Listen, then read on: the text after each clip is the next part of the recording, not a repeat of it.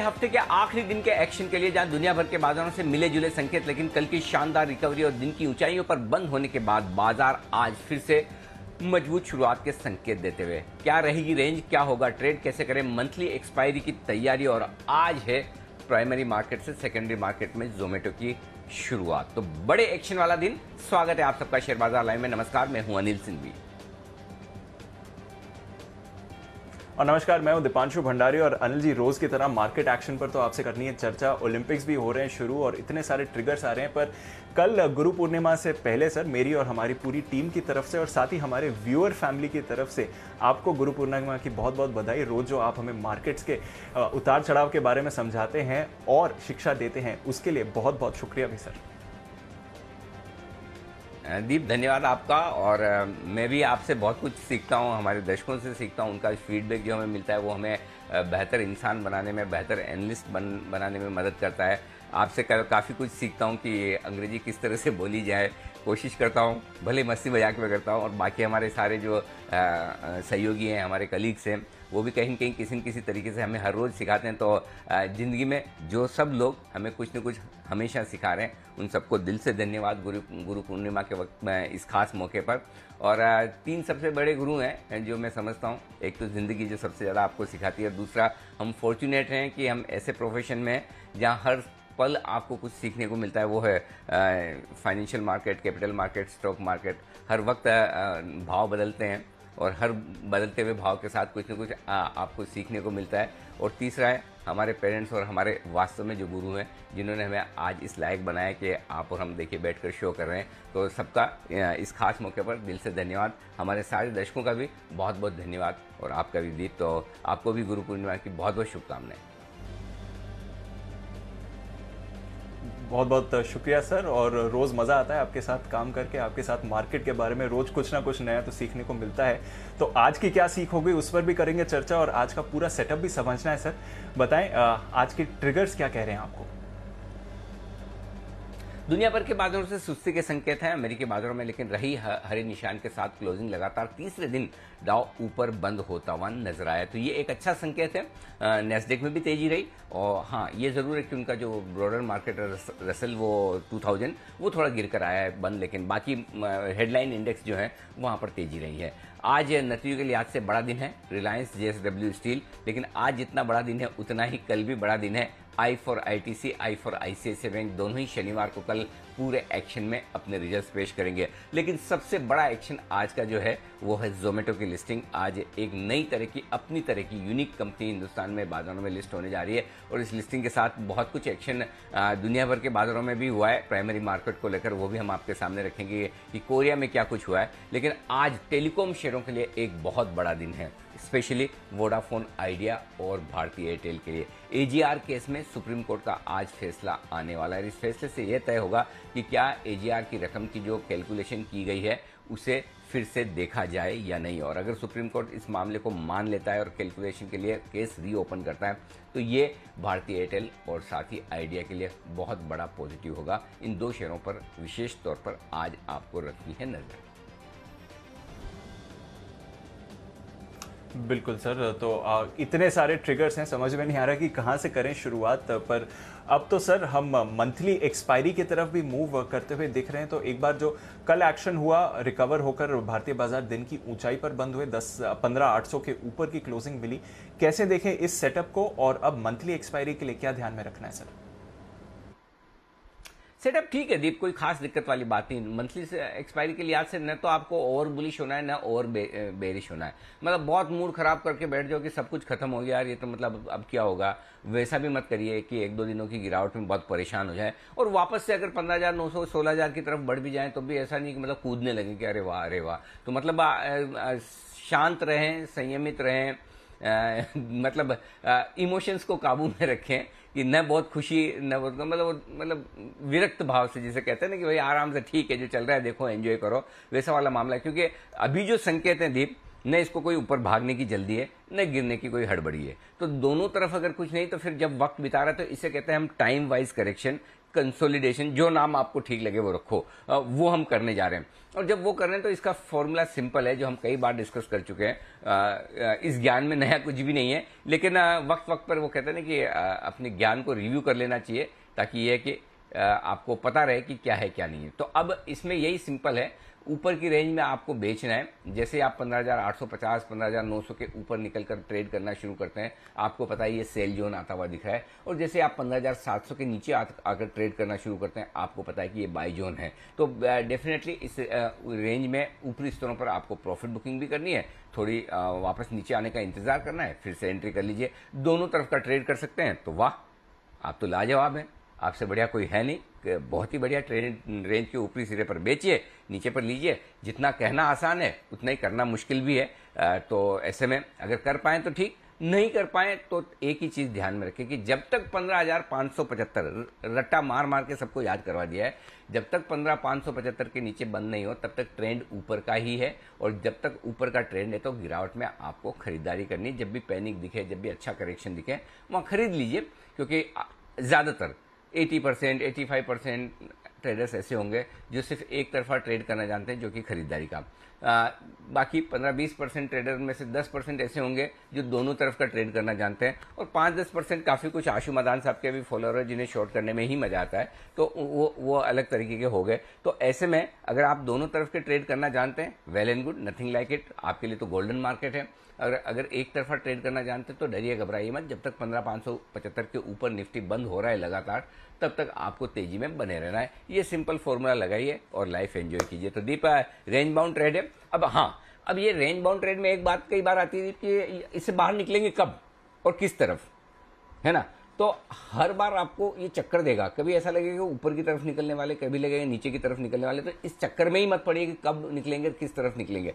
कब निकलने का जवाब आ सकता है निकलने के लिए सबसे बढ़िया वक्त। इस रेंज से बाहर निकलने के लिए सबसे बढ़िया वक्त है अगला हफ़्ता। मंथली एक्सपायरी है डेटा भरपूर है। आपने चार छः हफ्तों का कंसल्टेशन भी कर लिया टाइम भी बिता दिया, सब कुछ हो गया। अब आपको किसी भी एक तरफ़ जाना है तो मंथली एक्सपायरी से बढ़िया हफ़्ता हो नहीं सकता। तो मैं उम्मीद करता हूँ, ये मेरी उम्मीद है, भरोसा नहीं है, उम्मीद है कि अगले हफ़्ते आपको एक ब्रेकआउट मिल जाएगा या तो ऊपर की तरफ़, या फिर एक ब्रेकडाउन मिल जाएगा नीचे की तरफ़। तो उम्मीद है अगले गुरुवार के पहले पहले हम इस रेंज को तोड़ देंगे। या तो पंद्रह के नीचे जाकर बंद हो जाएँगे तो पता चलेगा कि अब हमें थोड़ा और नीचे जाना है। या सोलह के पार निकल कर टिक जाएँगे और ऊपर चले जाएँगे। तो ये भी क्लियर हो जाएगा कि ऊपर जाने के चांसेस ज़्यादा है। ज़्यादा संभावना इस वक्त अगर आप देखें, मुझे पूछें तो 60-65 परसेंट चांसेस ये है, हम इस रेंज को ऊपर की तरफ़ तोड़ेंगे। अभी तक जो डेटा दिख रहे हैं एक्चुअली बात रही है लाइफ टाइम हाई के आसपास भी बाज़ार इतने हल्के ओवरबोट है नहीं। और यही वजह कि एक या दो दिन के करेक्शन में बाज़ार फिर से इतने हल्के हो जाते हैं कि वो गिरते ही नहीं। अरे, आपके पास कुछ होगा तब तो बेचोगे ना, है ना? पहले से ही शॉर्ट है तो आपको नीचे आने पर शॉर्ट काटना है। और करना नहीं है। सो so, हल्के बाज़ार होने की वजह से अगर ये ओवरबॉट पोजीशन हो तो गिरना आसान होता है। तो बस एक आध दो दिन का करेक्शन आता है उसमें बाज़ार बहुत हल्के हो जाते हैं और इस वजह से रेंज तोड़ते नहीं है। और लाइफ टाइम हाई पर भी थोड़े बहुत कैश मार्केट के स्टॉक्स छोड़ दो तो यूफोरिया है नहीं। इसलिए ज़्यादा संभावना है कि बाज़ार ऊपर की तरफ़ ब्रेकआउट करने की कोशिश करें। करेगा नहीं करेगा अगले हफ़्ते पता चलेगा। लेकिन बाज़ार दीप मुझे लगता है बहुत वेल बैलेंस परफेक्ट पोजिशन है। आपको ढंग से ट्रेड करना आना चाहिए सिंपल और कुछ भी नहीं। जी दीप बिल्कुल सर। तो दोनों तरफ़ का अगर आप ट्रेड कर रहे हैं और अनिल जी तो रोज आपको लेवल्स बताते हैं अगर उनको रिस्पेक्ट कर रहे हैं तो बढ़िया बाज़ार है। कल भी बताया था 830, 835, 850 तक की एक रेजिस्टेंस जोन आ सकती है और बिल्कुल वहीं पर बाज़ार आकर कल रुकते हुए दिखे। तो चलिए सर फिर आज की रेंज भी समझ रही है आज के लेवल्स पर भी नज़र है और थोड़ी देर में जो जोमेटो की लिस्टिंग होने वाली है उस पर भी आपकी राय जाननी है। पहले आज का सेटअप समझा दें सर। देखिए सेटअप में ग्लोबल संख्या मैंने तो पॉजिटिव ही रखे भाई। मुझे तो ठीक लग रहा है, मुझे तो कोई समस्या दिखती नहीं तो मेरे लिए तो पॉजिटिव है। हरे निशान में बंद हुआ ना, बस काफ़ी है। तो अमेरिका लाल में नहीं हुई काफ़ी और मेरे ख्याल से डाउ फ्यूचर्स भी लास्ट मैंने देखा था चालीस पचास पॉइंट मुझे डाउ फ्यूचर्स ऊपर दिखे थे। हाँ अभी बासठ पॉइंट ऊपर है। तो अच्छे संकेत है, कोई दिक्कत नहीं नाजडेक फ्यूचर ऊपर है। थोड़ा रसल टू थाउज़ेंड का खराब हुआ है, डेढ़ परसेंट गिरा तो थोड़ा ब्रॉडर मार्केट में अमेरिका में थोड़ी प्रॉफिट बुकिंग आ रही है तो थोड़ा सा हमें ध्यान रखना पड़ेगा कि ब्रॉडर मार्केट में स्ट्रेंथ थोड़ी सी कम हुई है।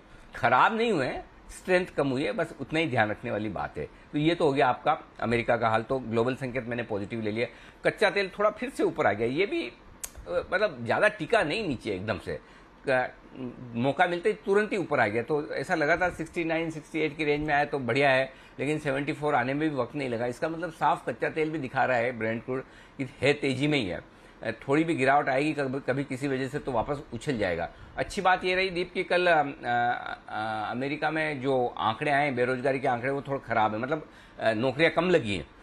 तो अब उसको देख लो कि भाई नौकरियाँ कम लगी तो फिर इकोनॉमी उतनी मज़बूत नहीं जितनी सोचते हैं। अब वो हर हफ़्ते तो इकोनॉमी बदलती नहीं है। हर हफ़्ते हम व्यूज़ बदलते हैं और हर रोज मार्केट बदलते हैं। तो जैसा मार्केट का व्यू है इकोनॉमी के आंकड़े खराब आए तो मान लीजिए थोड़ा लंबा चलेगा मामला।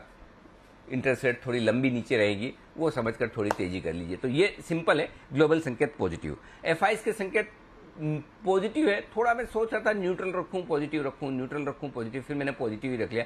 मैंने कहा जब पॉजिटिव रहने में ज़्यादा समझदारी है। घरेलू फंड्स के संकेत पॉजिटिव साइड पर आए। वायदा कारोबार के संकेत भी मैं सोचा था, न्यूट्रल रखूँ, पॉजिटिव रखूँ। इसमें थोड़े कश्मकश थी तो फिर यहाँ पे मैंने थोड़ा सा न्यूट्रल रखने का फैसला किया, जो मैं आगे विस्तार से बताऊँगा। सेंटिमेंट और ट्रेंड दोनों पॉजिटिव है, और बाकी तो और कुछ है नहीं है। इन दोनों चीज़ों को दीप हमने नेगेटिव नहीं होने दिया। जब दो दिन ज़ोर से गिरे भी बाज़ार तुमने कहा शांति रखिए, डरिए मन सेंटिमेंट खराब मत कीजिए। और जिन लोगों ने सेंटिमेंट अपना ठीक रखा और जिन लोगों ने बार बार है ना वो सात सौ आठ सौ पॉइंट डाउन नीचे देखकर स्ट्रेस नहीं लिया उनके चेहरे पे आज भी स्माइल है उन्हें कोई तकलीफ़ नहीं न, न तो उनके पैसे गए और न ही उनकी ब्लड प्रेशर बढ़ी है। तो आप आराम से शांति से सेंटिमेंट अच्छा मज़बूत बनाए रखें। जब खराब होगा तब आपको कहा जाएगा कि अब मुँह फुला लीजिए अब अपनी पोजीशन कम कर लीजिए अब निकलने के बारे में सोचिए। अभी वक्त है जब आएगा तब बताया जाएगा। जी जी। बिल्कुल सर तो उसका भी इंतज़ार रहेगा, पर आपने ये तो हर बार ही कहा है कि जब तक सेंटिमेंट ट्रेंड पॉजिटिव है, आपको परेशानी की ज़रूरत नहीं है। आज भी सारे संकेत पॉजिटिव हैं, सिर्फ़ एक वायदा कारोबार के संकेत न्यूट्रल हैं। बताएँ सर, फिर कौन से लेवल्स पर है आपकी नज़र आज? पंद्रह सात सौ पचास, पंद्रह सात सौ नब्बे, आज का दिन का स्ट्रॉन्ग सपोर्ट जोन है। पहला सपोर्ट जोन यही है, आसानी से नहीं टूटने वाला है। फिर भी बड़ी रेंज हफ़्ते का आखिरी दिन है तो पंद्रह हज़ार छह सौ पचहत्तर से पंद्रह हज़ार सात सौ पच्चीस स्ट्रॉन्ग बाय जो है इस रेंज में निफ्टी आए तो ज़रूर खरीदना चाहिए।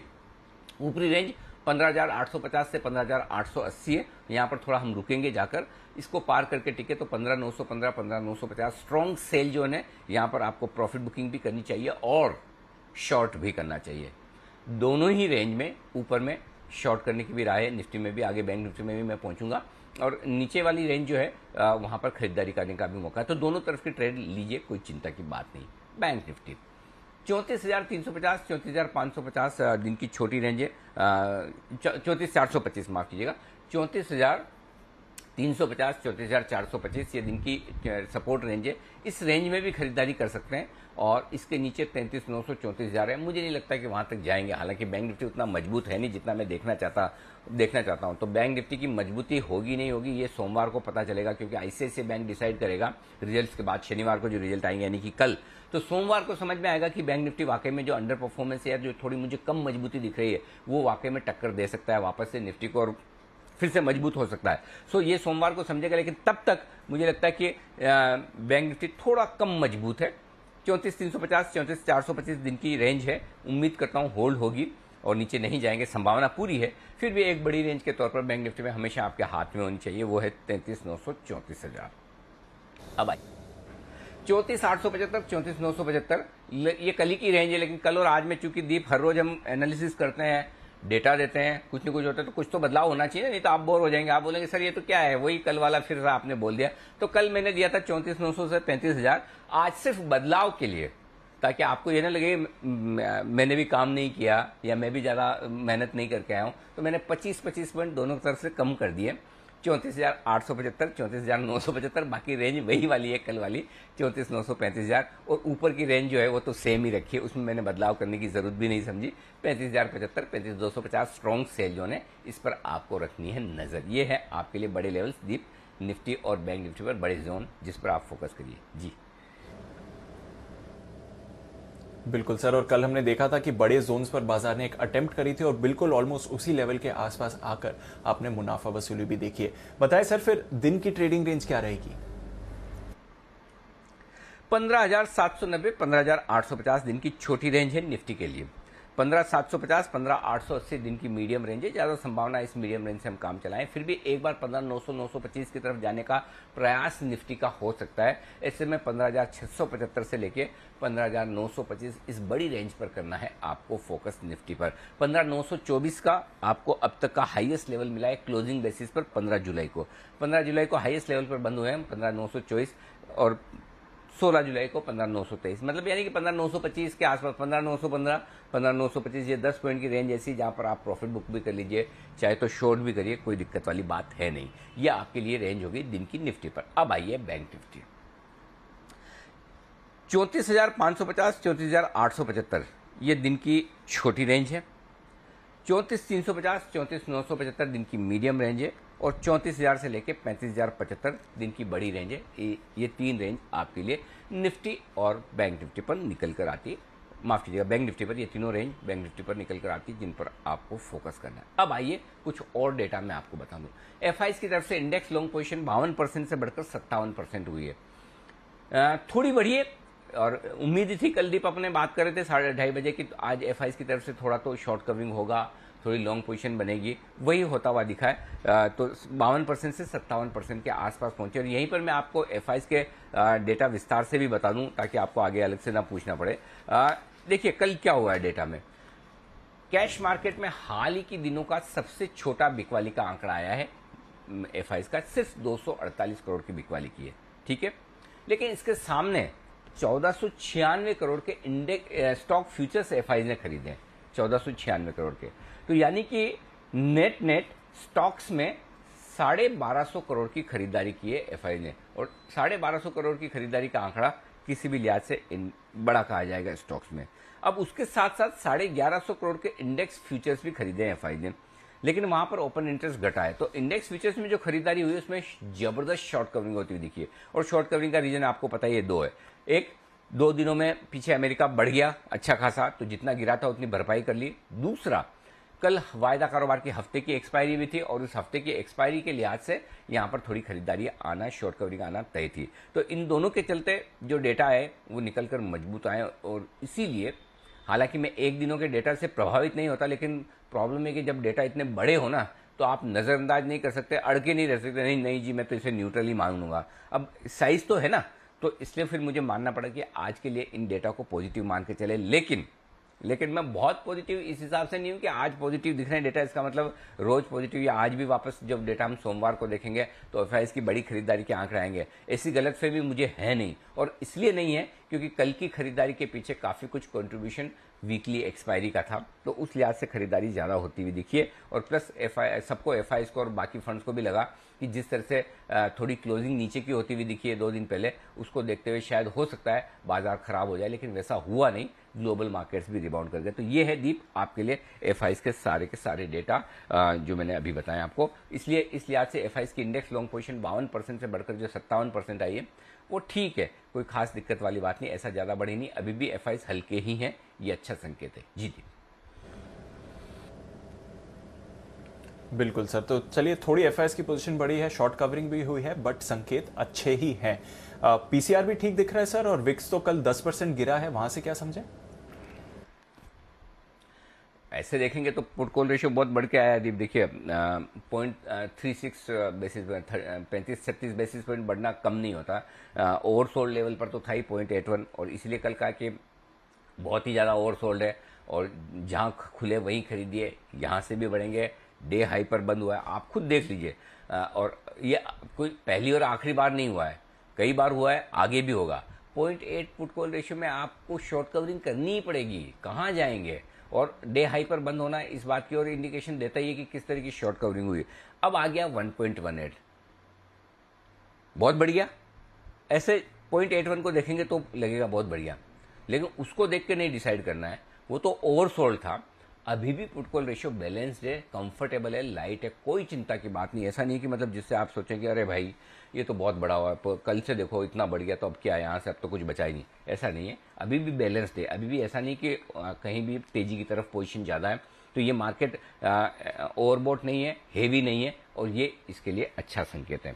इंडेक्स विक्स वॉलिटिलिटी इंडेक्स काफ़ी तेज़ी से घटा है। दीप दस परसेंट, बारह के नीचे बड़े समय बाद आया। तो विक्स बड़ा कंफर्ट दे रहा है कि बाज़ार में वोलेटिलिटी कम रहेगी। अभी विक्स से तो ये संकेत आ रहा है लेकिन वही है कि विक्स अपने लोएस्ट लेवल के आसपास ट्रेड कर रहा है। यहाँ से जनरली वोलेटिलिटी बढ़ने के संकेत आते हैं। देखते हैं कब क्या आता है। अब आइए आपको स्टॉप लॉसेस दे दूँ। अगर आपकी तेज़ी की पोजीशन है तो आपके लिए आज दो स्टॉप लॉस है। इंटरडे अलग होगा क्लोजिंग बेसिस पर अलग होगा। 15,700 intraday stop loss closing basis पर 15,625 के नीचे बंद हो तो थोड़ी सावधानी रखिए। 15,575 की जो क्लोजिंग की मैं बार बार बात करता हूँ वो अलग है। वो ट्रेंड में बदलाव के लिए ये आपके लिए ट्रेडिंग के लिहाज से। 15,575 के नीचे बंद होगा निफ्टी तब तो हम ये कहेंगे कि बाज़ार का जो ट्रेंड पॉजिटिव उससे न्यूट्रल हुआ है। तो वो अलग स्टॉप लॉस है, उसको और इसके साथ मिक्स मत कीजिए, नहीं तो आपको कंफ्यूज होगा अरे, अभी अनिल जी शुरू में तो आप कह रहे थे पंद्रह पाँच सौ पचहत्तर, अभी ये पंद्रह छः सौ पच्चीस कहाँ से आ गया? तो दोनों में फ़र्क है, वो मैंने आपको समझा दिया। तो ये ट्रेडिंग के लिहाज से, आजकल के लिहाज से पंद्रह छः सौ पच्चीस। अब आइए बैंक निफ्टी एक ही स्टॉप लॉस चौंतीस तीन सौ पचास। इंट्राडे भी और क्लोजिंग भी। इसके नीचे जाए तो फिर थैंक यू वेरी मच धन्यवाद, हमने गलत ट्रेड ले लिया। लॉन्ग करके गलती की, आगे से नहीं करेंगे। छोड़ दीजिए चौंतीस हज़ार तीन सौ पचास। शॉर्ट साइड पर सोलह हज़ार इंट्राडे स्टॉप लॉस है। चाहे तो आप लाइफ हाई का भी लगा सकते हैं पंद्रह हज़ार नौ सौ बासठ के आसपास जो लाइफ हाई बनी उसके ऊपर भी लगा सकते हैं। मैं सोलह हज़ार का इसलिए दे रहा हूँ ताकि इंट्राडे में आपका स्टॉप लॉस ट्रिगर हो ही ना ना हो। ठीक है ना? आ, और क्लोजिंग बेसिस पर पंद्रह नौ सौ चौबीस की अब तक बेस्ट क्लोजिंग मिली है। उसके ऊपर बंद होता है तो फिर क्यों? खत्म करो। सिंपल काट लीजिए। और फिर भी नहीं काटना जिसको फिर भी अभी कुछ कुछ लोग ऐसे होते हैं कि नहीं जी, हम तो खुद कट जाएँगे, लेकिन पोजीशन नहीं काटेंगे, ऐसे भी बहुत सारे लोग होते हैं। तो उनके लिए फिर सोलह हज़ार है, आप सोलह हज़ार पर जाके कटिएगा, अगर खट हो जाए तो। नहीं तो कोई बात नहीं। पंद्रह नौ सौ पच्चीस बुकिश स्टॉप लॉस है आपके लिए क्लोजिंग बेसिस पर। ये आपके लिए स्टॉप लॉस हो गया निफ्टी पर और बैंक निफ्टी पर। अब आइए शॉर्ट साइड पर। सॉरी बैंक निफ्टी पर। बैंक निफ्टी पर एक ही स्टॉप लॉस है डीप शॉर्ट साइड पर, पैंतीस हज़ार एक सौ इंट्राडे भी और क्लोजिंग कल भी पैंतीस हज़ार के ऊपर नहीं निकले, पैंतीस एक सौ का रखेंगे हम, सौ पॉइंट और ऊपर। ये स्टॉप लॉस है जिसपे आपको ध्यान रखना है। जी। क्लियर है सर तो मौजूदा पोजिशन आपके सामने तैयार हैं। किस लेवल्स पर रखना है ध्यान? यहाँ से अब लेते हैं संकेत नई पोजिशन के। बताएँ सर नई पोजिशन आज कैसे बनाएँ? खरीदे निफ्टी पंद्रह हज़ार सात सौ पच्चीस, पंद्रह हज़ार सात सौ नब्बे बाई जोन है। यहाँ पर खरीदिए, इस रेंज में खरीदिए। पंद्रह आपको कितना खरीदना उस हिसाब से आप एंट्री कीजिए। एक लोट खरीदना है तो फिर उस हिसाब से करिए। तीन लोट खरीदना है तो पंद्रह सात सौ नब्बे, पंद्रह सात सौ पचास, पंद्रह सात सौ पच्चीस, तीनों जगह खरीदिए। उस हिसाब से आपको खरीदारी करनी है। स्टॉक तो थोड़ा दूर है, पंद्रह हज़ार छह सौ पच्चीस का, लेकिन वहीं लगाना ठीक है। ऊपर में टारगेट जो बनेगा पहला, पंद्रह हज़ार आठ सौ पंद्रह का बनेगा, पंद्रह आठ सौ पैंतीस, पंद्रह आठ सौ पचास पंद्रह आठ सौ अस्सी और पंद्रह नौ सौ पंद्रह, ये सारे टारगेट्स हैं जिसके लिए निफ्टी में करनी है खरीदारी। जो लोग शॉर्ट करना चाहते हैं, पंद्रह हज़ार आठ सौ पचास के ऊपर से मन बनाना शुरू करें, बेचना शुरू करें पंद्रह आठ सौ अस्सी से। पंद्रह आठ सौ पचास के ऊपर देखें, टिकता है कि नहीं टिकता है, टिक सकता है। आठ सौ अस्सी, नौ सौ पचास, ये रेंज परफेक्ट शॉर्ट जो है। किसी के इनविटेशन का इंतज़ार न करें कि कोई आके मुझे बोलेगा कि बेचिए। आपको खुद अपना मन बनाकर डिसीज़न लेकर बेच देना इस रेंज में। ज़्यादा बेचना है तो पंद्रह आठ सौ अस्सी, नौ सौ पंद्रह, नौ सौ पच्चीस 950 हर एक लेवल पे बेचिए। एक आध लोड बेचना है तो 915 25 की रेंज में बेचिए। अपने हिसाब से देख लीजिए कहाँ बेचना है। लेकिन बेचना ज़रूर है और स्टॉप लॉस सोलह हज़ार का सिंपल सा लगा लेना, दिमाग नहीं लगाना। ओके पंद्रह आठ सौ पचास, पहला टारगेट है। 825 दूसरा टारगेट है। पंद्रह सात सौ नब्बे, पंद्रह सात सौ पचास, इतना तो मिल ही जाएगा। बाद में रिव्यू करेंगे क्या है, क्या नहीं। तो ये है आपके लिए निफ्टी और बैंक निफ्टी पर खरीदारी और बिकवाली की राय आज दोनों ही ट्रेड रेंज वाले हैं। अब आइए बैंक निफ्टी। बैंक निफ्टी खरीदना है और ये खरीदने की जो राय है कमज़ोर बैंक निफ्टी के बावजूद मैं स्ट्रॉन्ग सपोर्ट जोन पर दे रहा हूँ, जो ज़्यादा दूर नहीं है। इसलिए मैं पहले से कह रहा हूँ कि एग्रेसिव ट्रेडर्स के लिए ही है। चौंतीस हज़ार तीन सौ पचास, चौंतीस हज़ार पाँच सौ पचास। अगर आपको एक ही लोट खरीदना है तो चौंतीस चार सौ पच्चीस पे खरीदिए। तीन खरीदने तो पाँच सौ पचास, चार सौ पच्चीस, तीन सौ पचास पे खरीदिए। तो उस तरीके से आप मन बनाइए, आपको कहाँ खरीदना है। ये रेंज खरीदारी करने की स्टिक स्टॉप लॉस होना चाहिए चौंतीस तीन सौ का। ये लगाइए ही लगाइए। अगर ये ट्रिगर हो जाए तो जाने दीजिए। उसके बाद मत, क्योंकि उसके बाद सीधा जो सपोर्ट आता है ना, बहुत दूर है। वो तैंतीस, नौ सौ चौतीस हज़ार के पहले कहीं ढंग का सपोर्ट है नहीं। तो फिर आप 400 पॉइंट की रिस्क कभी नहीं रखेंगे। 400 500 पॉइंट की रिस्क बैंक निफ्टी में ज़्यादा हो जाती है। इसलिए स्ट्रिक्ट स्टॉप लॉस के साथ आपको खरीदना है। चौंतीस हज़ार छह सौ पचहत्तर, आठ सौ पचहत्तर, नौ सौ पचहत्तर और पैंतीस हज़ार पचहत्तर। ये सारे टारगेट है जिनके लिए आपको करनी है बैंक निफ्टी में खरीदारी एग्रेसिव ट्रेडर्स जो लोग शॉर्ट करना चाहते हैं, ज़रूर करें, दिल खोल के करें। चौंतीस हज़ार आठ सौ पचहत्तर से पैंतीस हज़ार पचहत्तर। कल भी आपको चौंतीस नौ सौ पैंतीस हज़ार की रेंज में शॉर्ट करने की राय दी थी। वहीं पर टॉप बनाया। दिन के दिन पैसे बन गए। आज भी अगर उस रेंज में पहुँचे तो बिल्कुल बेचिएगा। डरिए मत। चौंतीस आठ सौ पचहत्तर, पैंतीस हज़ार पचहत्तर की रेंज में आपको शॉर्ट करना है। डर लगे तो आपको पता है स्टॉप लॉस कहाँ है। पैंतीस दो सौ पचास। वहाँ पर स्टॉप लॉस लगाकर बेच दीजिए। नीचे का टारगेट जो बनेगा वो चौंतीस हज़ार सात सौ पचास, चौंतीस हज़ार छह सौ पचहत्तर पाँच सौ पचहत्तर और चौंतीस हज़ार चार सौ पच्चीस। ये सारे टारगेट्स हैं जिनके लिए बैंक निफ्टी में करनी है दीप आपको बिक वाली जी। बिल्कुल, सर। तो क्लियर लेवल्स निकल कर आ रहे हैं। कल भी हमने देखा ऊपरी सरों पर बिकवाली थी और निचले सरों से तो कल अच्छी रैली रही। आज भी लेवल्स बाज़ार रिस्पेक्ट करते हुए दिख रहा है। अच्छा सर बैन लिस्ट के मैं आपको अपडेट दे दूँ। एनएमडीसी बैन से बाहर आ गया है, ये आपके लिए अच्छी खबर है। पर बैन में बने हुए हैं Nalco Cadila India bulls Sun TV और कैनरा बैंक जो कल लग रहा था कि पीएनबी और सेल बैन में आ सकते हैं, ऐसा नहीं हुआ। डेटा तो फंड्स का आपने समझा दिया सर कोई इंपॉर्टेंट लेवल्स वायदा कारोबार के लिहाज से? पंद्रह हज़ार आठ सौ, एक ही। पंद्रह हज़ार आठ सौ मेक और ब्रेक लेवल है, क्योंकि पंद्रह हज़ार मतलब आप पच्चीस पॉइंट गिर जाए तो डरिए मत। तब भी आप पॉजिटिव हैं। पंद्रह आठ सौ से ही आपको कमज़ोरी गिरनी है। क्यों? पंद्रह हज़ार आठ सौ के पुट पर छब्बीस लाख शेयर हैं और कॉल्स में तैंतीस लाख शेयर हैं। तो ये लेवल ऐसा है और कॉल राइटर्स थोड़े ज़्यादा हैं, जबकि पंद्रह आठ सौ के ऊपर आप बंद हुए हैं। और अगर थोड़ा भी ऊपर टिके रहेंगे तो कॉल राइटर्स थोड़े से बैकफुट पर आएँगे। तो पंद्रह आठ सौ के नीचे नहीं जाना चाहिए। पहली रिक्वायरमेंट तो निफ्टी की ये है। ठीक है दीप? ऊपर में पंद्रह नौ सौ हल्की रुकावट का लेवल है, पंद्रह सात सौ हल्का सपोर्ट लेवल है। तो पंद्रह आठ सौ एक ही लेवल है। बैंक निफ्टी में आइए। यहाँ बड़ा इंटरेस्टिंग है मामला। मंथली से एक्सपायरी में जा रहे हैं हम दीप और पैंतीस हज़ार के लेवल पर बैंक निफ्टी में पुट और कॉल दोनों में ओपन इंटरेस्ट हाईएस्ट एक ही स्ट्राइक प्राइस पर है, पैंतीस हज़ार पर। उसमें भी कॉल राइटर्स लगभग दुगुने हैं। तो पैंतीस हज़ार पार नहीं होगा आसानी से जल्दबाजी में। कम से कम आज के मूड माहौल को देखकर नहीं लगता। पैंतीस हज़ार पार कराने के लिए आपको एक ही चीज़ चाहिए, कल आईसीआईसी बैंक के शानदार नतीजे। मतलब शानदार मतलब अच्छे नहीं मतलब कि उम्मीद से बेहतर वाले नहीं। जो उम्मीद से बेहतर और दूसरा क्या मालूम H D F C bank के रिज़ल्ट के बाद अब मतलब ना, आपको थोड़ा और दमदार रिज़ल्ट चाहिए ही चाहिए। तो आईसीआईसी बैंक के ऊपर पूरा दारोमदार है कि वो परसों सॉरी सोमवार को आपको पैंतीस हज़ार के पार ले जा पाता है या नहीं। तो वही एक तो आज तो संभावना मुझे नहीं दिखती कि हम पैंतीस हज़ार के ऊपर निकल पाएँगे। सो इसलिए पैंतीस हज़ार का लेवल मेक और ब्रेक है, ऊपर की तरफ़ बैंक निफ्टी पर। तो दो ही लेवल पर नज़र रखनी है, निफ्टी पर पंद्रह आठ सौ बैंक निफ्टी पर पैंतीस हज़ार, ये दो लेवल आपके लिए। जी जी। क्लियर है सर। तो पूरा सेटअप आपके लिए दिग्गजों के नतीजे आने वाले हैं। रिलायंस पर नज़र है, कल आईसीआईसीआई बैंक और आईटीसी की भी नतीजे हैं। तो चलिए बाज़ार का एक्शन होने वाला है भरपूर। अब आते हैं सर स्टॉक स्पेसिफिक एक्शन पर। और जोमेटो की लिस्टिंग की बात करें, उससे पहले जो व्यूअर्स के लिए आपकी तरफ़ से गिफ्ट है, उस पर करते हैं फोकस बिगुड स्टॉक ऑफ़ द डे का।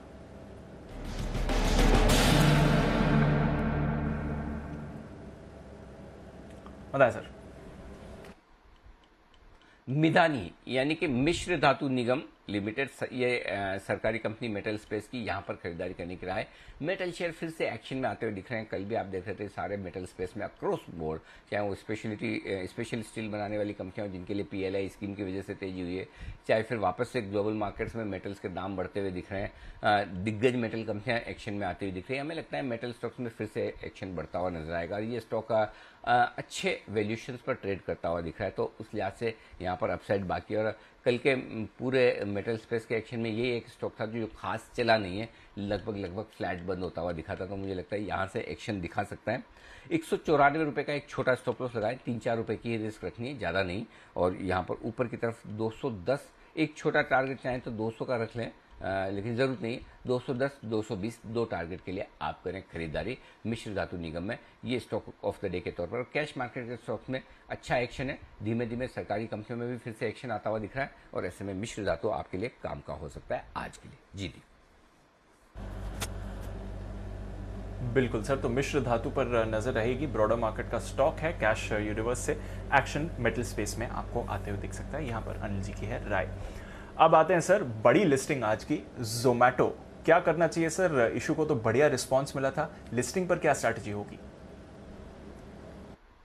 देखिए अपनी तरह का नया बिज़नेस है और इकलौता बिज़नेस है और बड़ा भी है। जहाँ पर जो इंटरेस्ट है, वो बड़े निवेशकों का ज़बरदस्त रहा है। चूँकि पहली बार हम इस तरह की बड़ी साइज़ की लॉस मेकिंग कंपनी को लिस्ट होते हुए देख रहे हैं और स्टार्टअप को लिस्ट होते हुए देख रहे हैं तो ये अपने आप में एक एक्सपीरियंस है। लेकिन अब तक का जो एक्सपीरियंस है वो ये बता रहा है कि कहीं न कहीं इस स्टॉक को लेकर इंटरेस्ट ज़बरदस्त है और उस लिहाज से मैं उम्मीद करता हूँ कि लिस्टिंग पर भी खरीदारी आएगी। तो इसे दो तीन तरीके से देखे दीप। एक तो ये कि स्टॉक में आपके लिए खरीदारी का मौका बराबर बनेगा। पहली चीज़ तो ये, जिनको अलॉटमेंट मिला है वो होल्ड करें, वो बेचने की जल्दबाजी ना करें, क्योंकि वैसे भी आपको एक एक लोटी मिला तो आप बेच कर भी क्या कर लेंगे? पहली बात तो ये। दूसरी चीज़ जो है, वो ये है कि अगर आपको जो लिस्टिंग का अंदाज़ा है मेरा मेरा ये सोचना है लिस्टिंग होगी 100 से 110 रुपए की रेंज में। छिहत्तर रुपए की इश्यू प्राइस थी। बड़ी दमदार लिस्टिंग होने की आप उम्मीद करके चल सकते हैं। सौ से 110 रुपए की रेंज में यहाँ पर लिस्टिंग हो, होगी। लिस्टिंग के बाद इसे होल्ड करिए। अगर वोलेटाइल हो तो भी कोई चिंता मत करिए। बेचने की कोई जल्दबाजी में ये एक ये आपके पास अगर अलॉटमेंट मिला तो आपको रखना है। सिंपल सी चीज़ है। आपको ये छोड़ना नहीं है। पहली बात ये दूसरी बात अब बड़ा सवाल जो है जो आमतौर पर आता है कि अब हमें तो मिला ही नहीं। हम क्या करें? तो मेरा ये समझना है कि लिस्टिंग पर भी आप खरीद सकते हैं। और स्पेशली अगर लिस्टिंग नब्बे रुपए के आसपास हो, इसके नीचे मिले लिस्टिंग के बाद, अब सौ रुपए के नीचे से ये आपके लिए खरीदने का मौका दे सकता है। नब्बे रुपए के आसपास मैं कंफर्टेबल हूँ, जहाँ पर अगर आता है तो यहाँ पर आप खरीदारी कर सकते हैं, कोई दिक्कत वाली बात नहीं। तो अगर जो फ्रेश इन्वेस्टर्स हैं, जो मिस कर चुके हैं, जिन्हें अलॉटमेंट नहीं मिला पहली चीज़ तो ये कि अगर आपको अलॉटमेंट मिला है तो आप इसको अपने डीमेट अकाउंट में छोड़ दीजिए, हड़बड़ी मत करिए, जल्दीबाजी मत करिए, बेचने की कुछ कोशिश मत करिए। आ गया थैंक यू वेरी मच नसीब है आपको मिला है। पहली चीज़ वो हो गया। दूसरी चीज़ जिनको नहीं मिला, हर आदमी चाहता है जोमेटो से कुछ ना कुछ मिले। या तो अच्छा खाना पीना, नहीं तो स्टॉक मिले और स्टॉक से रिटर्न मिले तो अब आपको निचले स्तरों पर खरीदारी करने का सोचना है। अगर लिस्टिंग ज़्यादा गैप से ना हो तो आप खरीद सकते हैं, ये ध्यान में रखिए। तो मुझे लगता है कि लिस्टिंग होने के बाद भी स्टॉक में एक्शन भरपूर रहेगा और यहाँ से भी मज़बूत हो सकता है। तो आज जोमेटो आपको पॉजिटिव साइड पर सरप्राइज़ कर सकता है। फिर से बोल रहा हूँ, दीप, इस सेंटेंस को ध्यान से सुन लीजिएगा, गौर से सुन लीजिएगा अंडरलाइन बोल्ड स्टेटमेंट जोमेटो आपको पॉजिटिव साइड पर सरप्राइज़ कर सकता है। इसलिए अगर सौ रुपये के नीचे जहाँ भी आपको मौका मिले, वहाँ खरीदारी करने का मौका भी देखिए। नब्बे रुपये के आसपास आता है, बहुत बढ़िया। और बाकी 100 से 110 के आसपास की लिस्टिंग की उम्मीद है। हो सकता है लिस्टिंग के बाद और बढ़े, क्योंकि फंड्स की जो डिमांड है, जिस तरह का क्यूआईबी का रेस्पॉन्स आया है, वो साफ़ दिखा रहा है कि लिस्टिंग के बाद आप खरीदारी आते हुए देखेंगे। ये मेरा अंदाज़ा है, जो मैं फंड्स की डिमांड को देखकर अंदाज़ा लगा रहा हूँ और उस लिहाज से जोमेटो सुपरहिट रहेगा। बिल्कुल तो सुपर हिट रह सकता है आईपीओ अगर आपको मिला है एलोकेशन और लिस्टिंग गेंस नहीं चाहिए तो आराम से होल्ड करिए, वरना अच्छी लिस्टिंग गेंस भी इसको आपको आती हुई दिख सकती है। तो दोनों लिहाज से दमदार एक्शन के लिए तैयार है जोमेटो आज होने वाली है इसकी लिस्टिंग चलिए सर जोमेटो पर हमारी नज़र रहेगी। ढेरों और स्टॉक्स हैं जो नतीजों के दम पर रिएक्शन दिखाने वाले हैं और खबरों के दम पर भी एक्शन रहेगा। वरुण, देवांशी, मानसी और साथ ही आशीष के साथ जुड़ लेते हैं। वरुण गुड मॉर्निंग करते हैं आपसे शुरुआत। बताएँ आज के ट्रिगर्स और कुछ पोस्ट मार्केट नतीजे कौन से हैं? गुड मॉर्निंग दीप तो आज के ट्रिगर्स में काफ़ी सारे कैश की कंपनियाँ जिनके नतीजे आने वाले हैं। ABB power man and bearing Fineotex chemicals Panacea biotech ये तमाम वो कंपनीज़ है जिनके नतीजे आएँगे। एस एसबीआई कार्ड इसके भी नतीजे आएँगे तो यहाँ पे आपकी नज़र होनी चाहिए। जोमेटो की लिस्टिंग की तो आप बात कर चुके हैं। इसके अलावा टेलीकॉम स्टॉक्स पे आपको नज़र रखनी है, क्योंकि एजीआर रिकैलकुलेशन मामले में आज सुप्रीम कोर्ट का फैसला जो है वो आने वाला है। इसके चलते जितनी टेलीकॉम कंपनीज़ है, खासकर वोडाफोन और भारतीय एयरटेल यहाँ पर नज़र रखिएगा। एक्स डिविडेंड होने वाला है टेक महिंद्रा और एंजल ब्रोकिंग तो यहाँ पे एडजस्टमेंट देखने मिलेगा। टेक महिंद्रा में तीस रुपये प्रति शेयर का डिविडेंड है और एंजल ब्रोकिंग में पाँच रुपये पंद्रह पैसे प्रति शेयर के डिविडेंड है तो उसका एडजस्टमेंट आज होने वाला है। आईसीआईसीआई लोम्बार्ड नतीजे थोड़े कमज़ोर हैं यहाँ पे। ग्रॉस रिटर्न प्रीमियम्स जो है, वो तो 12 परसेंट बढ़े हैं। कंपनी का मुनाफा दरअसल 61 परसेंट घटा है और कोविड का इम्पैक्ट जो है, इस कंपनी के प्रॉफिट में देखने मिला है। इंश्योरेंस इस कंपनी के अंडर लॉसेज जो है, वो करीब करीब 510 करोड़ के आसपास रहे हैं कोविड के चलते। तो उसका इम्पैक्ट इस कंपनी के नतीजों पे देखने मिला है जहाँ पे मुनाफा 61 परसेंट गिरा है। नेट प्रीमियम जो है हालाँकि उसमें करीब 12 परसेंट के आसपास का उछाल देखा गया है। ओके okay, तो ये हैं आपके लिए कुछ ट्रिगर्स और साथ ही अहम नतीजे। आइए देवांशी से भी जाने कुछ और नतीजे जहाँ पर है फोकस गुड मॉर्निंग देवांशी बताइए। गुड मॉर्निंग दीपांशु आज सबसे पहले साउथ इंडियन बैंक कमज़ोर नतीजे यहाँ से आते हुए देखें। एसेट क्वालिटी यहाँ पे खराब होती हुई दिखिए। इस बार आप देखिए ग्रॉस एनपीएस इस बार करीब आठ परसेंट पे आते हुए दिखे सात परसेंट से बढ़कर और नेट एनपीएस भी five point zero five percent पर पहुँचते हुए दिखे three point zero nine percent से बढ़कर। इसके साथ ही जो प्रोविज़न हैं, उसमें सेवेंटी परसेंट तक की बढ़त वाई वाई बेसिस पर होते हुए दिखिए। साथ ही जो मुनाफा है, वो एटी सेवन परसेंट तक कम होता हुआ दिखा है और साथ ही जो ब्याज से आया, उसमें आठ परसेंट तक की गिरावट आपको इस बार आती हुई दिखी है। काफ़ी कमज़ोर नतीजे आते हुए दिखे हैं। कैनफिन होम्स में थोड़े से मिले जुले नतीजे हैं। जो बिक्री है वो 14 परसेंट तक कम होती हुई दिखी है। कामकाजी मुनाफे में भी इस बार 10 परसेंट तक की गिरावट है। मार्जिन इस बार कम होते हुए दिखे और साथ ही जो मुनाफा है वो 17 परसेंट तक बढ़ता हुआ दिखा है। तानलाल प्लेटफॉर्म्स इस बार stable set of numbers company ने पोस्ट किए हैं। क्यू क्यू बेसिस पर अगर आप देखें तो जो आय है वो तीन परसेंट तक कम होती हुई दिखे लेकिन जो मुनाफा है वो तीन परसेंट तक बढ़ता हुआ दिखा है। मार्जिन में बढ़त आती हुई दिखे ट्वेंटी एंड हाफ़ परसेंट से बढ़कर twenty one point five percent के आसपास और कामकाजी मुनाफा इस बार वन थर्टी फोर करोड़ पे आता हुआ दिखा है। लेकिन अहम होगा जो बायबैक के प्रस्ताव को मंजूरी मिलती है, उस पर नज़र रखना। 65 करोड़ के बायबैक के प्रस्ताव को मंजूरी मिल चुकी है। जो फ्लो प्राइस तय की गई है, वो ट्वेल्व हंड्रेड रुपीज़ प्रति शेयर पर है, जो कि कल के क्लोजिंग से प्रीमियम पर है। और मैं आपको ये भी बता दूँ कि ये ओपन मार्केट से परचेज होता हुआ दिखेगा। टेंडर बायबैक नहीं है तो इस पर आपको ध्यान रखना है। चेन्नई पेट्रो यहाँ पे भी आप देखें नंबर्स थोड़े से कमज़ोर आते हुए दिखे हैं, जो कुल बिक्री है वो ग्यारह तक बढ़ती ज़रूर दिखी है, लेकिन कामकाजी मुनाफा मार्जिन ये कम होते हुए दिखे हैं। साथ ही जो मुनाफा है, वो भी एटी परसेंट तक कम होता हुआ दिखा है सिक्वेंशियल आधार पर। और साथ ही एग्रोटेक फूड्स यहाँ पे भी कमज़ोर नतीजे आते हुए दिखे हैं। कुल बिक्री एकदम फ्लैट है, लेकिन कामकाजी मुनाफा तीस परसेंट तक कम होता हुआ दिखा है। मार्जिन दस परसेंट से घटकर साढ़े सात परसेंट पे आते हुए दिखे और साथ ही इनका जो मुनाफा है, उसमें लगभग थर्टी एट परसेंट तक की गिरावट इस बार आते हुए दिखिए कमज़ोर नतीजे एग्रोटेक फ़ूड से भी आते हुए दिखे बिल्कुल तो ये हैं आपके लिए आ, कुछ नतीजे और कुछ और नतीजों पर बस कुछ ही देर में वरिंदर बंसल के साथ रिज़ल्ट एक्सरे पर भी हम बात करेंगे। पर आइए कुछ खबरों पर भी फोकस करते हैं। मानसी गुड मॉर्निंग बताएँ कौन से खबरें हैं आपके पास? Good morning Deepanshu Mahindra life 28 जुलाई को नतीजों के साथ बोनस शेयर इशू करने पर एक बोर्ड बैठक करने जा रहा है। इसके अलावा बीपीसीएल पर आज आप नज़र रखें क्योंकि बीपीसीएल में एफडीआई लिमिट 100 प्रतिशत करने की कैबिनेट से मंजूरी मिलती हुई दिखी है। सरकारी तेल कंपनियों में मौजूदा एफडीआई लिमिट 49 परसेंट है। बीपीसीएल की बिक्री में सहायता के लिए पीएसयू रिफाइनरी में 100 प्रतिशत एफडीआई को मंजूरी दे दी गई है और सरकार की बीपीसीएल में 52.98 परसेंट हिस्सेदारी है। इंडसइंड बैंक 24 जुलाई को पूंजी जुटाने को लेकर एक बोर्ड बैठक कंपनी करने जा रही है। दरअसल 23 जुलाई को ये बोर्ड बैठक होने जा रही थी, जो कि रिस्केड्यूल होकर अब 24 जुलाई अब तक गई है। मैग्मा फिनकॉर्प कंपनी का नाम बदलकर पूनावाला फिनकॉर्प लिमिटेड बाईस जुलाई, यानी कल से होता हुआ दिखा है। अलकार्गो लॉजिस्टिक्स 6 अगस्त को वॉलेंट्री डीलिस्टिंग पर एक बोर्ड बैठक करेगा जिसके चलते अलकार्गो लॉजिस्टिक्स पर भी फोकस होना चाहिए।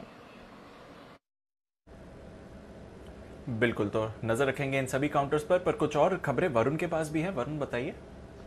इसमें सबसे पहले तो ओरिएंट सीमेंट है जिसमें 19 जुलाई को HDFC म्यूचुअल फंड ने 43.28 लाख शेयर्स बेचे हैं। हिस्सेदारी जो है 7.27 परसेंट से घटकर अब 5.15 परसेंट रह चुकी है। पावर ग्रेड यहाँ पे रिकॉर्ड डेट है। One is to three bonus share की रिकॉर्ड डेट जो है वो 30 जुलाई की तय की गई है। और सबसे आखिरी में पीएसपी प्रोजेक्ट इस कंपनी को ऑर्डर मिला है। करीब 82.8 करोड़ का ऑर्डर जो है वो इस कंपनी को मिला है। तो उसके चलते ये काउंटर ब्याज एक्शन में रहने वाला है। ओके okay, तो ये है आपके लिए कुछ और खबरें भी। ऑर्डर विन के दम पर भी पीएसपी प्रोजेक्ट्स एक्शन में रहेगा। आइए आपको बता देते हैं फिर आज ब्रोकरेजेस का क्या कहना है। एफआईआर में।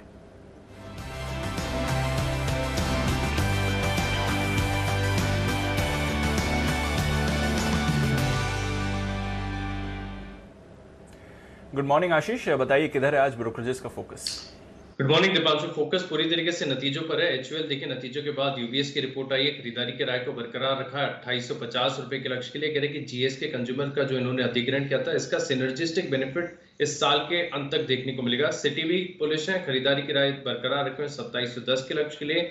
गोल्डमैन सैक्स ने न्यूट्रल की रेटिंग दी है दो हज़ार एक सौ अस्सी रुपए के लक्ष्य के लिए और सीएलएसए देखिए खरीदारी के राय को बरकरार रखे हुए अट्ठाईस रुपए के लक्ष्य के लिए।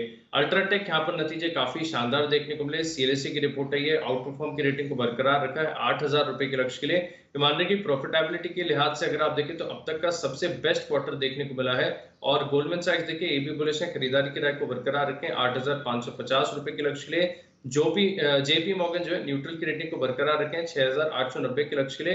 ये मान रहे हैं कि साल के दूसरे भाग में कंपनी को बड़ा प्राइस हाइक करना पड़ेगा, तभी नतीजे जानदार देखने को मिलेंगे। मैक्वायरी ने अल्ट्राटेक की रेटिंग जो है, उसे बरकरार रखे आउट परफॉर्म पर और आठ रुपए का लक्ष्य दिया है। आईसीआईसीआई लोम्बार्ड यहाँ पर सीएलएससी की रिपोर्ट आई है आउट परफॉर्म की रेटिंग को बरकरार रखा है, सोलह सौ रुपए के लक्ष्य के लिए, हालाँकि पंद्रह सौ पैंतालीस के आसपास की कल की क्लोजिंग है।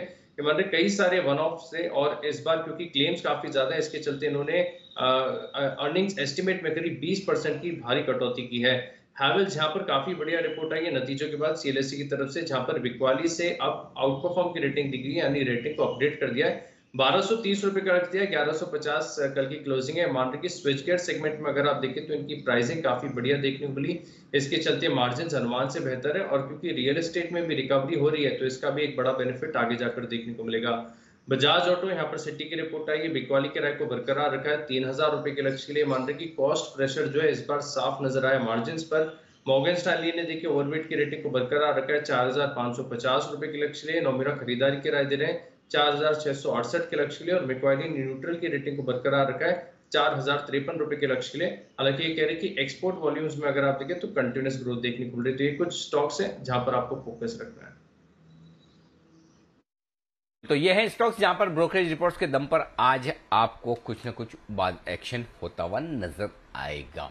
आइए बढ़ते आगे और वक्त है वरिंदर रिज़ल्ट एक्सरे का।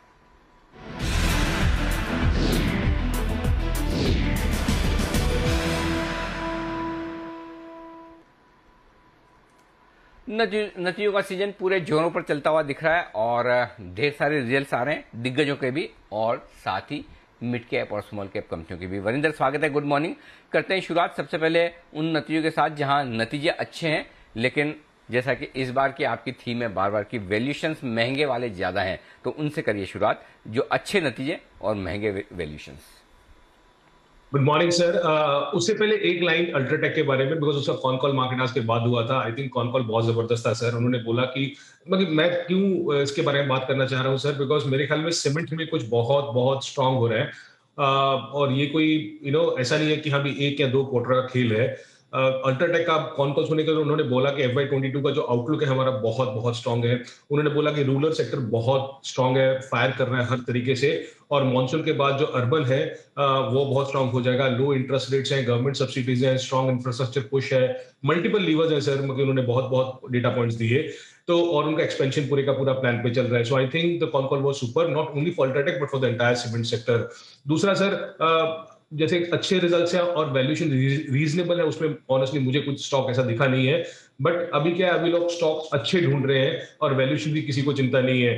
तो अच्छे रिजल्ट्स बट थोड़े से एक्सपेंसिव वैल्यूशन में सर कल मतलब the stand out for me was technology मतलब mid cap technology I think two numbers which came in were very very solid Mphasis और परसिस्टेंट परसिस्टेंट के नंबर्स एम्फोसिस से भी ज़्यादा अच्छे आए थे बट ये दोनों कंपनीज़ ने नंबर्स बहुत शानदार दिए हैं। एम्फोसिस छोटा कंपनी नहीं है सर, पैंतालीस हज़ार करोड़ के आसपास का मार्केट कैप है।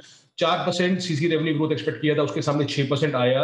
एबिट मार्जिन उनका सोलह परसेंट के आसपास आया, जो कंपनी ने गाइड किया था कि हम लोग साढ़े पंद्रह सत्रह परसेंट के बीच में करेंगे। एक ज़रूरी पॉइंट है कि उनका जो डील विंस है, वो बहुत बहुत स्ट्रॉन्ग था इस बार। तीस टाइम पे डेट करता है सर एफ़ ट्वेंटी टू बहुत महँगा स्टॉक नहीं है बट बहुत सस्ता स्टॉक भी नहीं है।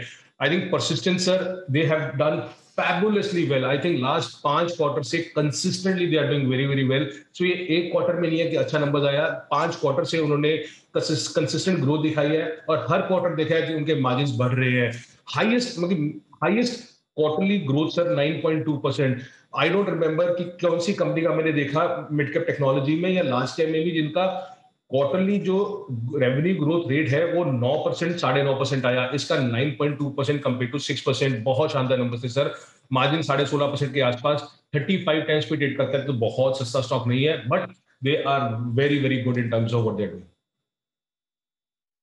absolutely तो ये दो रिजल्ट्स अच्छे हैं, लेकिन बहुत सस्ते नहीं रहे स्टॉक लेकिन जो कमज़ोर रिजल्ट्स हैं, पहले उनके बारे में बताएँ। फायर कौन सर यू नो नंबर सुबह आए नौ बजे कौन कॉल है तो ज़्यादा क्लैरिटी कॉन कॉल में मिलेगा। एक ही नंबर ऐसा तो सबसे ज़रूरी है कि जो टॉप लाइन है, वो मिस थी। चार परसेंट ग्रोथ आया एक्सपेक्टेड था कि तेरह से पंद्रह परसेंट आएगा। जेनेरिक सेगमेंट बहुत वीक था, पंद्रह परसेंट क्वार्टर क्वार्टर डाउन था, इक्कीस percent Y on Y down था। बायोसिमिलर सेगमेंट अच्छा कर रहा है, जो चौदह परसेंट ऊपर था क्वार्टर क्वार्टर और दस परसेंट वाई एन वाई तो that was a saving grace EBITDA भी नीचे था आपको पैट बहुत ज़्यादा कम देखेगा, मेरे ख्याल में चालीस, पचास परसेंट क्वार्टर क्वार्टर कम देखेगा बिकॉज़ उसमें कुछ अदर इनकम था जो लास्ट क्वार्टर में 200 करोड़ था, इस क्वार्टर सैंतालीस करोड़ था तो उसका इम्पैक्ट में देखिए। द इंपॉर्टेंट थिंग इसकी जो टॉप डाउन है, वो मिस हुआ और कोई सस्ता स्टॉक नहीं है sir it is trading at forty times you know next year earnings तो कौन कौन नौ बजे है तो वो देखेंगे। दूसरा sir Oriental Aromatics I know everyone is getting crazy about how chemicals are going but एक नंबर दूँगा सर इसमें कि इसका सेल्स अगर आप देखेंगे पाँच क्वार्टर से बढ़ रहा है। दो क्वार्टर पहले इसका 190 करोड़ सेल्स था, अभी 230 करोड़ सेल है। I am surprise gross gross margin और एबिटा मार्जिन अब एबिटा मार्जिन देखिए सर, दो क्वार्टर पहले जब इसका 190 करोड़ का सेल्स था, उस समय 28 परसेंट मार्जिन था, कम हो गए दो क्वार्टर में 15 परसेंट हो गया है। सो सेल्स बढ़ रही है बट मार्जिन कम हो रहे हैं। Not a good sign. Uh, or Mahindra EPC, sir, I have heard a lot of people talking about irrigation theme and all and all from Mahindra Group, but अभी भी इसने negative EBITDA दिया जो consistently दे रहा है. Nothing has been done by this company since I don't know how many years. Okay okay, तो ये आपके लिए कमज़ोर नतीजों वाली लिस्ट है लेकिन आ, कुछ नतीजे ऐसे हैं जहाँ पर उम्मीद के मुताबिक भी रिजल्ट्स आते दिखे हैं बहुत अच्छे नहीं तो बहुत खराब भी नहीं कौन से स्टॉक्स हैं इस लिस्ट में सर, सारे का सबसे पहले डालूँगा मैं, उसका नंबर्स अच्छा आया था। उसमें एक चीज़ बहुत अच्छी थी सर, कि उसका सेल्स थोड़ा सा कमज़ोर था और कोविड में हमें पता था कि कमज़ोर होगा बिकॉज़ कारमा अभी पिकअप नहीं कर रहा। बट फिर भी सर, उन्होंने कॉस्ट कंट्रोल बहुत ज़बरदस्त किया। EBITDA margin highest ever at 35 percent compare to 28 percent quarter quarter that was you know one thing for me अगर आप इसको ट्रैक कर रहे हो तो आपको कार्मा सेल्स ट्रैक करना पड़ेगा कि आगे जाके किस तरीके से होता है। इंडियन एनर्जी एक्सचेंज स्टॉक बहुत भाग चुका है सर तो numbers were totally flat quarter quarter nothing great in terms of numbers totally in line थे। बहुत एक्सपेंसिव स्टॉक है। पचास टाइम पे ट्रेड करता है। But again everyone wants a platform business, so what can i say? Even india mart, sir, you know p&l was flat quarter to quarter, but internals अभी भी कमज़ोर है सर अगर आप देखेंगे तो एबिटा 90 करोड़ आया compare to 85 crore quarter quarter इसमें एक नंबर होता है सर पेड सब्सक्राइबर्स का। वो क्वार्टर क्वार्टर डिक्लाइन हुआ 6000 इस बार और क्वार्टर वन में वो 14000 नीचे था। सो इंटरनल्स वीक है। Of course everyone knows how much expensive this stock is brokerages में, सर, जैसे मैंने बोला कि कल आईसीसी सिक्योरिटीज के नंबर्स उतने अच्छे नहीं आए थे जितना स्टॉक भाग चुका है। उसी तरीके से आईएफएल सिक्योरिटीज के टोटली फ्लैट नंबर थे क्वार्टर क्वार्टर नथिंग मतलब कोई ऐसा तोड़फोड़ नंबर नहीं आया जिस तरीके से स्टॉक ने रिएक्ट किया है। ऑफकोर्स ये बहुत सस्ता स्टॉक है compare to other brokerage companies चौदह टाइम पे ट्रेड करता है टीटीएम ईपीएस पे। But numbers were not that encouraging EBITDA 98 crore flat quarter quarter profit सत्तर crore versus seventy seven crore और हाइडलबर्ग के नंबर्स कमज़ोर थे थोड़े से compare to what we are seeing in the cement pack तो और ऑफकोर्स मतलब सीजनैलिटी का इम्पैक्ट हो सकता है। पैट आपको ज़्यादा कमज़ोर दिखेगा बिकॉज़ उसमें depreciation you know higher taxes थे इस बार quarter quarter but otherwise EBITDA 150 crore के सामने 130 करोड़ आया। तो थोड़ा सा कमज़ोर था but as I said the cement cycle is very very strong so I have put this into in line but for me stand out performance sir अगर मैं देखूँगा तो इट वाज क्लियरली बाय बिटका टेक्नोलॉजी यस्टरडे के लिए सारे नतीजों का पूरा विश्लेषण बहुत बहुत शुक्रिया। वरिंदर ये नतीजों का विश्लेषण देने के लिए सोमवार आपसे फिर होगी मुलाकात। आपके लिए ढेर सारा काम है। आज के रिजल्ट्स कल के भी बड़े दिग्गज रिजल्ट्स आईटीसी आईसीआईसी बैंक आने वाले हैं। कैश मार्केट के स्टॉक की तो लंबी लिस्ट है तो सोमवार को बहुत कुछ एक्शन रहेगा आपके साथ। आइए बढ़ते आगे एक्शन को बढ़ाते आगे। सारे एक्सपर्ट्स हैं हमारे साथ तैयार हफ़्ते का आखिरी दिन वक्त है पिक ऑफ़ द डे का।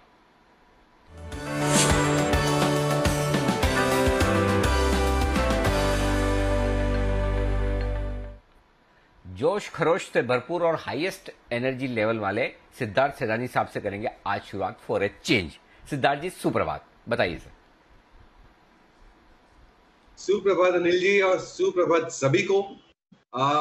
सुबह की, सुबह सुबह में आपने मुझे चांस दिया तो सुबह की जो आरती है, वो मैं आरती इंडस्ट्रीज़ से करूँगा पिक ऑफ़ द डे में। आरती इंडस्ट्रीज़ पे खरीदारी की राय है मेरी तो कई बार रेकमेंड कर चुका हूँ, फिर से लेके आया हूँ। बेंजीन बेस्ड स्पेशलिटी केमिकल का सबसे सस्ता चीपेस्ट कंपनी जो प्रोड्यूसर है, वो है Aarti industries but F Y twenty four मतलब आने वाले दो से तीन सालों में ये कंपनी अपनी रेवेन्यू आई डबल कर सकती है। इतना बड़ा केपेक्स है। पैंतीस सौ से चार हज़ार करोड़ का केपेक्स बहुत ही मज़बूत कंपनी मुझे लगता है आज के दिन में अच्छी मजबूती रह सकती है। अगर थोड़े से पोजिशनल तौर पे कहूँ तो निवेश की राय 990 का टारगेट कभी कभी तो मुझे लगता है सिद्धार्थ जी की आरती नाम से आपका कुछ ना कुछ खास लगाव, रिश्ता, नाता ऐसा कुछ है। अगर ऑफिशियली आप कुछ बताना चाहते हैं ऑफिशियली कोई है तो आप बताइए। नहीं तो कोई बात नहीं हम ये समझ लेंगे आपने वाकई में फंडामेंटल के बेसिस पे स्टॉक को रिकमेंड किया है। नहीं सर ऑफिशियली तो कोई नाता नहीं है फंडामेंटल के बेसिस पे ही रिकमेंड किया है। ओके तो तो सिद्धार्थ जी ने आपको साफ़ साफ़ कह दिया ऑफिशियली कोई नाता नहीं अनऑफिशियली जिसको पूछना है अलग से सिद्धार्थ जी से मिल के पूछ ले ये चीज़ क्लियर कर दी। चलिए थैंक यू हम समझ गए Siddharth ji. Thank you very much आइए बंसल जी बताइए सर, आपका pick of the day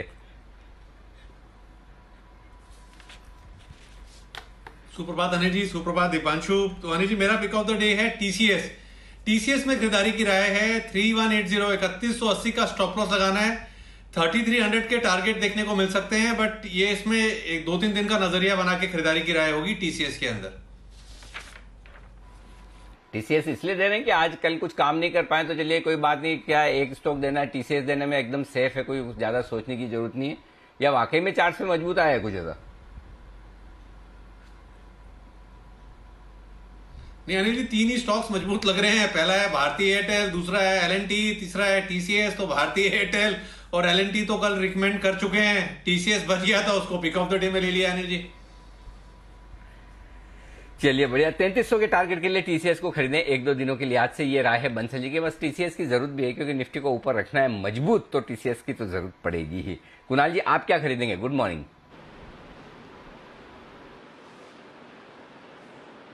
Good morning Anil ji good morning Deepanshu Anil ji cash market का शेयर खरीदेंगे। स्टॉक का नाम है रेन इंडस्ट्रीज़ जिसमें कि एक बहुत बड़ा ब्रेकआउट कल के ट्रेड में आता हुआ देखा गया। और अनिल जी इसका चार्ट बड़ा दमदार है। ये स्टॉक मुझे लगता है इवेंचुअली चार सौ रुपए तक जाएगा। एक विशाल का है राउंडिंग बॉटम पैटर्न बना है। लेकिन एकदम शॉर्ट टर्म के हिसाब से दो रुपए पर स्टॉप लॉस रख करके बाय करें। मुझे लगता है कि दो रुपए तक के लेवल्स आपको जल्द आते हुए दिखेंगे। तो खरीदारी की राय है रेन इंडस्ट्रीज़ पर।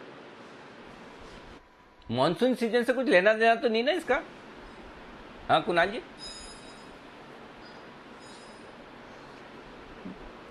नहीं अनिल जी यहाँ तो मानसून थोड़ा फीका चल रहा है और आप लोगों के यहाँ ज़रूरत से ज़्यादा तीव्र है तो अनिल जी मानसून से इसका कोई लेना देना नहीं। नाम ही है बस अनिल जी रेन। चलिए बढ़िया। नाम हाँ नाम ही है और माहौल है। बाकी रेन इंडस्ट्रीज़ आपको सीपीसी ये बनाने का प्रोडक्ट पेटकॉक बनाने का कारोबार करने वाली कंपनी। सचिन जी, सुप्रभात। बताएँ सर, आपका पसंद का शेयर आज के लिए? सुप्रभात अनिल जी, सुप्रभात दीपांशु। अनिल जी, जो स्टॉक में आज रेकमेंड कर रहा हूँ, वो एक पिक ऑफ़ द डे ही नहीं इनफैक्ट एक पिक ऑफ़ द वीक हो सकता है। तो जिस तरीके से इसका स्ट्रक्चर है काफ़ी वीक नोट पे चल रहा था इस पर्टिकुलर एक्सपायरी में। बट हाल फ़िलहाल में पिछले सात आठ दिनों का अगर डेटा देखें तो वहाँ पर मुझे लग रहा है कुछ ऑप्टिमिज्म बन रहा है।